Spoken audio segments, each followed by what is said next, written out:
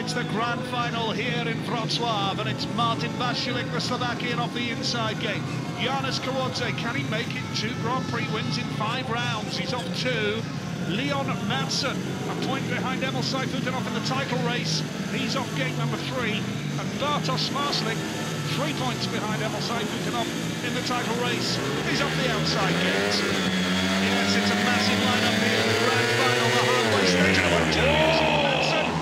the start, and the lights have not come on. The race continues. Madsen made a real quick start there. Vaculik has the lead right now. Watch out for Zmarzlik in yellow! Oh, what a move from Zmarzlik, like a torpedo going into turn three on the opening lap.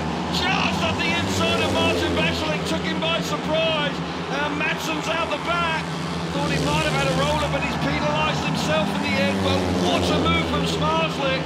He's hit the front like he did in the semi-final, coming from the outside. Colonso back in third place. Can Madsen do anything about it? Can he get himself on the rostrum? Zmarzlik with a win here will be level with Sayfutdinov in the World Championship, but Madsen's come through into third.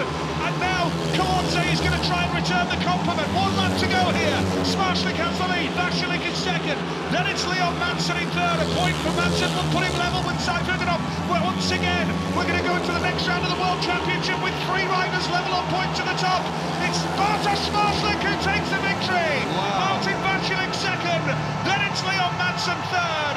And that means that Zmarzlik is on 61 points. Also, Emil Sayfutdinov and Leon Madsen all on 61 points. A three-way tie at the top of the World Championship at the halfway stage. And it's many congratulations to that fella.